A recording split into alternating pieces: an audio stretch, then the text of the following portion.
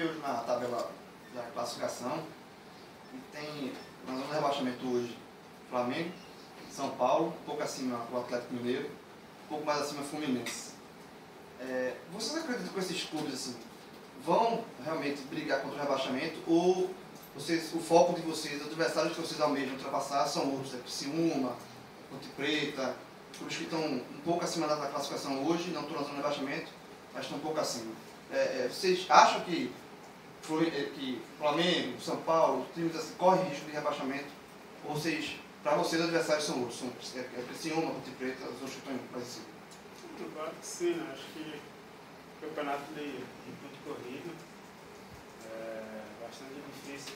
Você vê aí o Fluminense campeão ano passado. É, as equipes consideradas a grande ali da, da competição tudo ali, pertinho da zona do rebaixamento.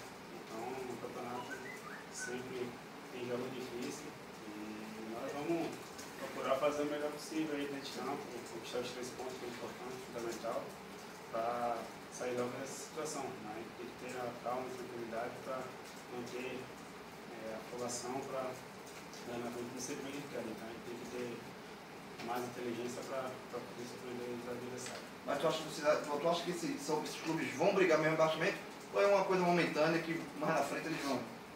Pode acontecer, eles brigam. Aconteceu com o Palmeiras, é, já aconteceu com o Corinthians. Então acho que o campeonato no final gente vai, vai dizer